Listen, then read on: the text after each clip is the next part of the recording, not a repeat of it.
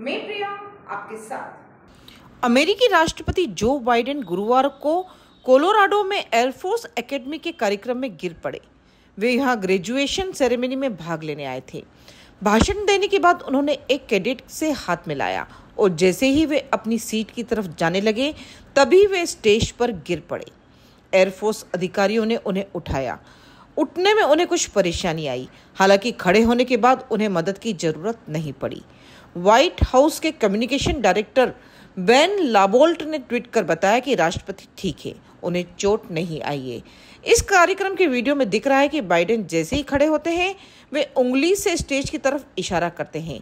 बताया जा रहा है कि यह काले रंग का बैग था, जिसमें रेत भरी थी।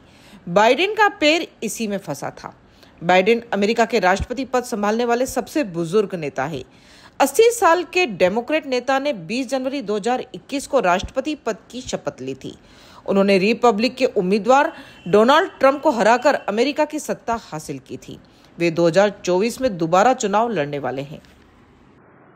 इसी के साथ बने रहिए राजनामा टीवी